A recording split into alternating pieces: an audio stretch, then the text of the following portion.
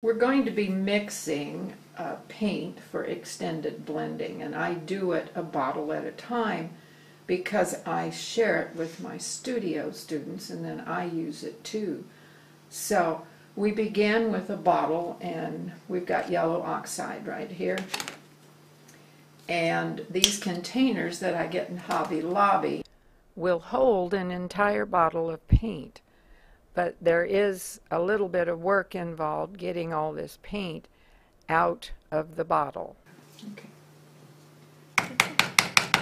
Now, this bottle wasn't quite full, so we're going to continue with the new bottle and get the level of the paint as close to the ridge that you can see on this container because that's where I can judge just exactly where I need to fill with my blending medium. We have the paint into the container and the blending medium will be put in one quarter volume to whatever amount of paint you have. Now the paint is below the little ridge on this container so she's filling the blending medium up with the ridge. If we get too much in there, this paint's going to be too wet and take forever to dry down. Then with the palette knife, you begin the stirring process. You have to stir until all the fluid is totally mixed. Now what happens is the paint has been formulated with a certain percentage of water and the water is lighter weight in density than the blending medium. So it will rise to the top and evaporate. Each day we stir and redistribute the blending medium, which has sunk to the bottom, and that will allow more water to rise up to the top. Some colors are ready in just a day or two. Others, it takes much longer. Depends on the pigment. Yellow oxide seems to take a while. So this one, depending on the humidity in the room and the temperature, uh, has taken me up to a week, but you've got to remember we're doing an entire bottle of paint paints have been sitting for a period of time. Now here's yellow oxide, not quite ready to go yet, because when you lift your knife out, it should hold a peak, and it's definitely way too runny. But she's stirring it for its daily stir, and making sure there's not a dry buildup on the edges. If it is, we use these little knives and cut it loose and let the extra paint drip back off of the dry and then get rid of it because it tends to act as a collection area and more and more paint sticks to that. So this one will be set aside for today.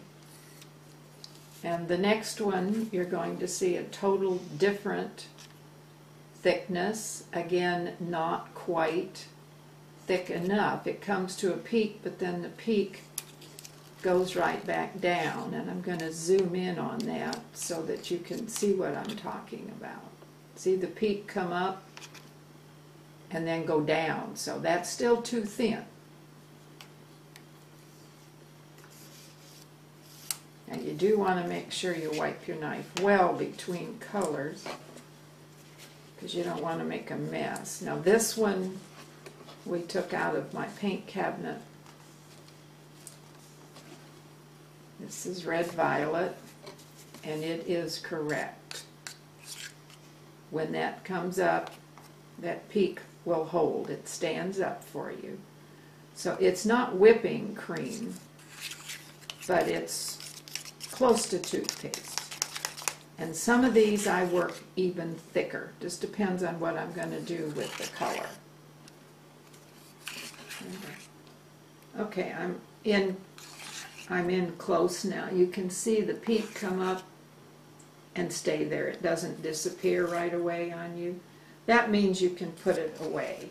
If we get them too dry, they do continue to thicken over time and you'll end up with it too thick. These are monitored every three weeks to a month. Many of them don't need anything, especially if they're in a screw top container. But these with the snap-ons, we have to watch. And so we're going to show you then some different containers other than this one that's available. You can get these from, I get them at Hobby Lobby. There's four of them for $4.99 and they hold two ounces and I've got a lot of my mixes in those. You can also get a much smaller container, it's made by Speedball. Six of these for $3.99 and they're much smaller, but for small amounts of paint, if you're not going to be sharing your paint like I do, those work perfectly. Then there's containers called block-ups that you can get online, and they come in all different sizes, and they have nice, tight, screw-on lids. And I have all my gray mixes in the extended form, in these. And so when I need to paint in gray, I just simply have to open them up and put out a small amount of paint on my wax palette and I'm good to go.